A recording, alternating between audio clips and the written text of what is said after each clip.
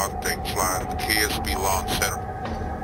These uh, brave 12 men and women faced a mammoth task of flying the spacecraft using what scientists call gravity-assist flight.